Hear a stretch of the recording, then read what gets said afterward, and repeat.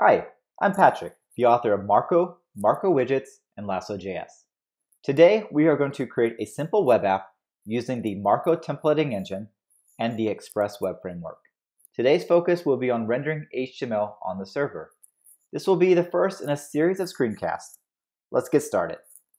The first thing we are going to do is create a skeleton Express app.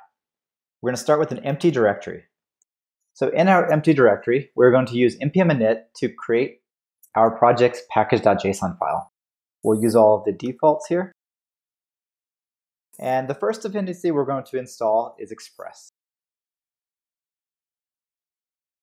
So with Express installed, let's create a server.js file, which will be used to start our application server. All right, let's now switch to our editor so that we can start writing some code. All right, in our server.js, we're going to import the Express module. We are going to use the Express module to create an Express app.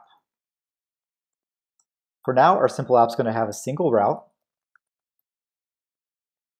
And for that route, we are going to create some middleware here that will render some text directly to the response output stream.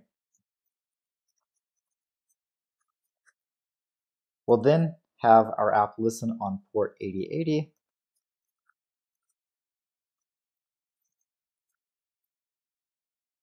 Let's start our server and try it out. All right, so we're listening on port 8080. Let's switch over to a browser. In our browser, we go to localhost 8080, and we see that it says hello world. So we know we have a working server. Now the next step is to integrate Marko so that we can use Marko to render the view.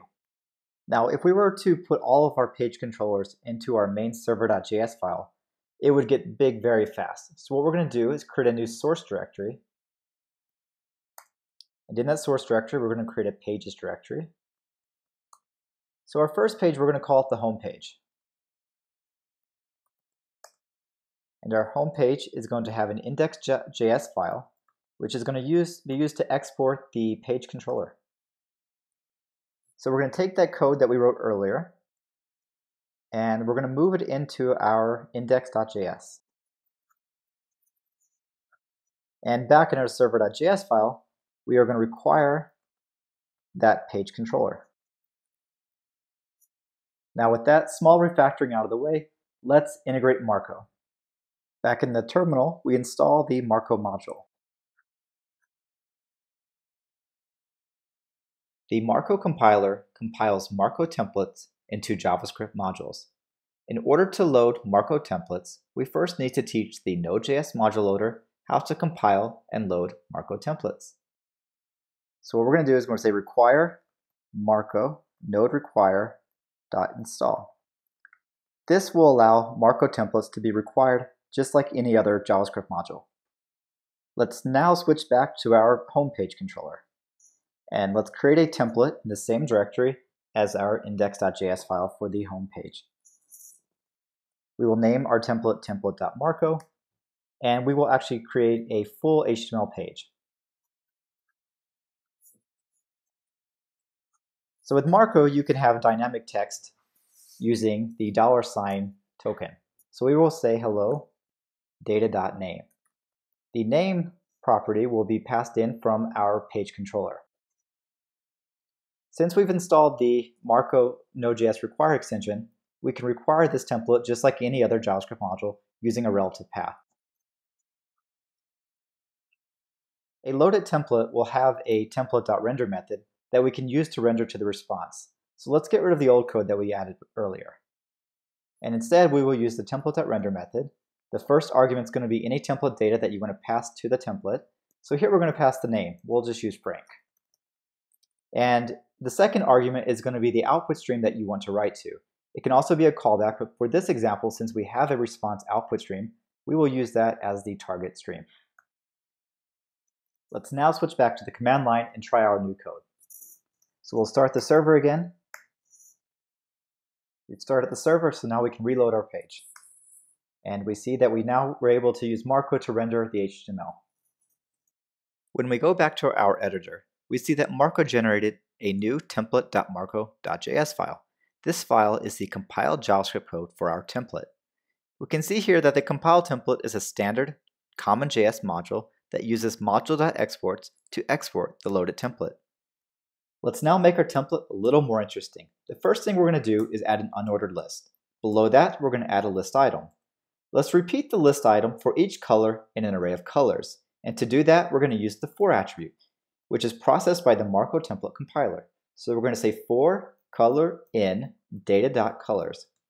For each iteration of the loop, let's render out the current color below the list item. Let's also make the unordered list conditional using the if attribute and the built-in not empty helper function. If there are no colors, let's render a div. To make that div conditional, we are going to use the else attribute. That way, if the if condition associated with the previous element evaluates to false, then the div will render. Let's now recompile the template to see what it looks like. While we could refresh the page and have the template recompile automatically, let's instead manually recompile the template using the provided command line compiler. So we'll say Marko C source pages home template.marko. The Marko template command line compiler is helpful for pre-compiling templates or just to better understand how templates are compiled to JavaScript. Here we see the recompiled template in our editor. You will notice that the if attribute resulted in this if statement being added to our compiled code. The for attribute resulted in this for each function call being added to our code. And finally, the else attribute resulted in this else statement. The goal of the Marko template compiler is to keep the compiled code as readable and as debuggable as possible. If something were to go wrong during rendering, you should easily be able to step through this compiled code and understand what went wrong. To complete this example, let's now update our page controller to pass in an array of colors to our template.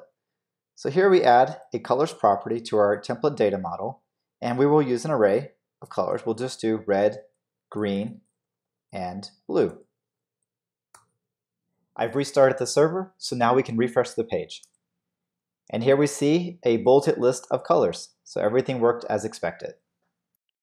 There you have it, a simple demonstration of using Marko to render a template on the server.